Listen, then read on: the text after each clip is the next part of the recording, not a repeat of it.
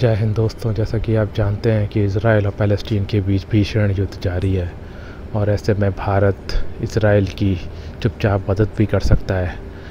खुफिया जानकारी ये है कि भारत इसराइल को BrahMos land attack cruise missile provide कर सकता है और इसके लिए ये मिलिट्री ट्रांसपोर्ट एयरक्राफ्ट अपने मिशन की तरफ़ बढ़ता हुआ काफ़ी प्रैक्टिस कर रहा है ये।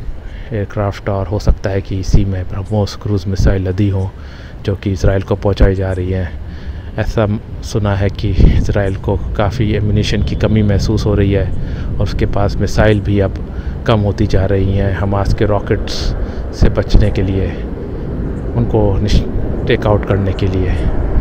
बट इसराइल ने भारत से मदद मांगी है और प्रधानमंत्री मोदी जी ने कहा है कि हम आपको ब्रह्मोस मिसाइल दे सकते हैं। अब ये बात में कितना सच और कितना झूठ है, ये तो वक्त ही बताएगा।